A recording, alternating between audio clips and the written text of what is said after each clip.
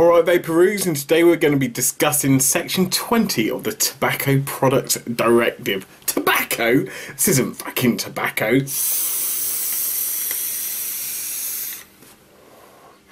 What a bunch of bastards.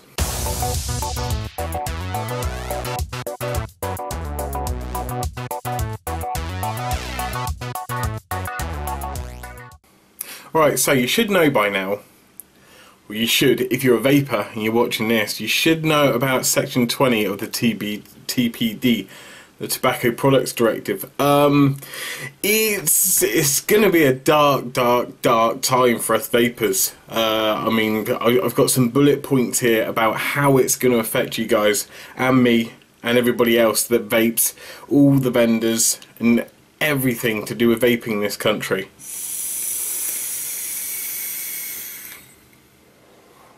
Have to vape to calm down about it. Um, so the basic bullet points, and it's not if, it's when this comes in. It's already it's already been passed. This this directive this this thing has already been passed.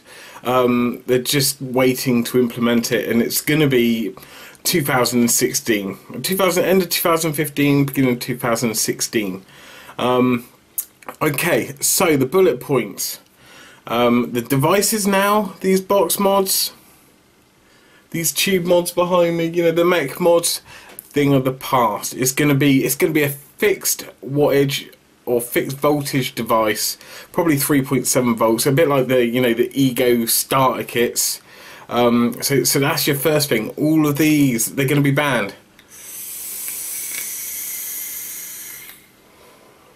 And tanks as well. This is a goblin. I love my goblin. You're going to have to rip this out of my cold, dead hands before I stop using this goblin. Either that or when it breaks.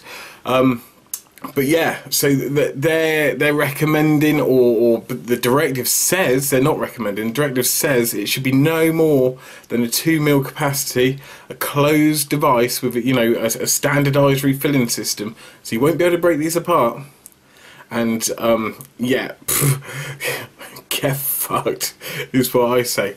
Um, yeah, so so an outright ban on anything over two mil, right? So you, are not going to have the choice of tanks, the RDAs, the RTAs, the clearomizers. The you know you're not you're not going to have any choice. It's going to be one thing, and it's going to be like your standardized basic kit that you got when you first started.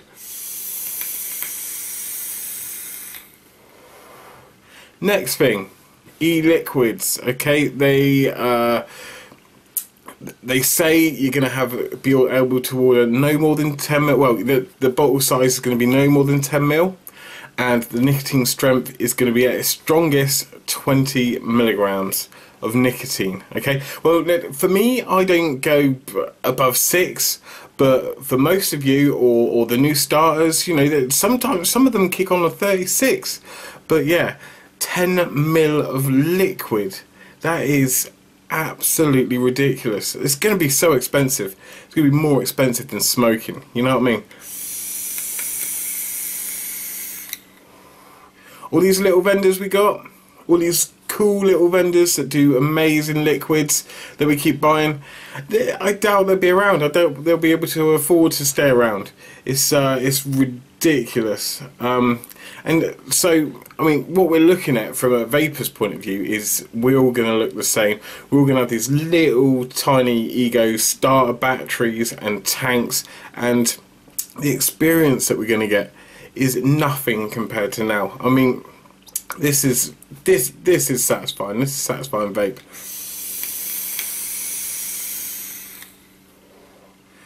As soon as you get an ego in your hand with your little sort of C4 whatever it is, it's I don't know. It's not for me. Um, okay, so that's that's for the vapors. Let's see, let's see about the industry then. Advertising restrictions. Um, okay, so you're not going to be able to advertise your products. You're not going to be able to ad advertise anything to do with vaping, um, which is absolutely shit. These small vendors, how are they supposed to get their message out? How are they supposed to say, "No, we got this new product. Come on, let's sing along. Come buy our products." They can't. Okay, it's plain and simple, and it's absolutely ridiculous. Um, pre-market notifications. So they're gonna, the vendors are gonna, ha- or the manufacturers are gonna have to give six months notice minimum to uh, get these products onto market. That's gonna take a long time. That's like. you're looking at a year probably um, to get a product to market because then they've after the six months notice then they've got to uh, go and test it and stuff like that it's going to be absolutely ridiculous um, you got to list all your ingredients um, down to 0.1% on the liquids. Um, so anything that's over or, or on 0.1% of the content of the liquid is uh, yeah okay so you've got to list that. I mean most liquids have got four main ingredients anyway. Um, so yeah you do the math. I, I, I, this is ridiculous. It makes me angry. Um, okay so basically tests of all the liquids which isn't essentially a bad thing because you know we, we need to know we're safe in what we're vaping but these tests are too too fucking thorough. Um, yeah, so basically, I'll read it out. Toxicological testing of fluids and emissions for every product, every flavour, and every strength, which I can guarantee is going to be expensive. That's why we're going to lose a lot of the smaller vendors for the e-liquids. Um, uh, so it, they're saying here the costs are likely to be in excess of 10k per flavour and strength. So each different strength's going to have to have tests. £10,000 per flavour. You couldn't make that back up in a year, not if you're a small vendor. This is disgusting. Um, yeah, and you've got the standardised refill mechanism. Um, so it, I, I don't know what it's going to be yet. They're, they'll probably make up some whirly gig about it that it, you're going to have to fucking extract liquid from your anus and pump it in. That's how fucking stupid this directive is. Um, but yeah, it is actually in place. They're just waiting. They're just waiting to you know implement it. Uh, it's. I'm angry. I'm angry. Now, there is something which a company called Totally Wicked, uh, if you haven't heard about them, um, in the vaping world, then there's something wrong. Uh, yeah, so there is something that Totally Wicked are doing. They're actually fighting this in the courts.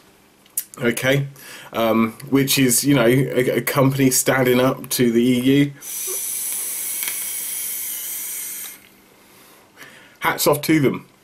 At the end of the day, they don't want their industry destroyed, and and you know that I I would like to say I would like to say they're doing it for all us vapors, which they are in a way, but I think a lot of it is um, to uh, to protect their industry and their money, their revenue stream.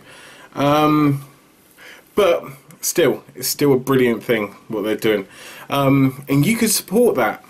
Uh, basically, I will put a link on the description below of where you can support it, and please go on click the support the legal challenge button and just fill it in. All you need to do is your name, your email, and your town where you're from.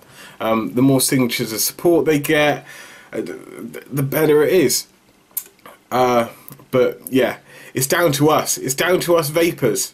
Okay, it's down to me, it's down to you guys, it's down to the vendors, small and big, it's down to the Facebook groups, it's down to the bloody Google communities that you got, it's down to us YouTube reviewers to just stand up and say, you know, we're not fucking standing for this. This is the equipment I want to use. Me, personally, this is what I want to use to vape, and I will use it. Okay? And that is it. That's the bottom line for me. Um, so, you know, I'm angry, but uh, yeah, let's just cut this off now. Um, I'm going to put the link in the bottom uh, to show how you can show your support for the for the case. Um, it's called Article20legalchallenge.com. Uh, 20 is 20. I will put the link down below. And for me, that's it for now. So, uh, toodles.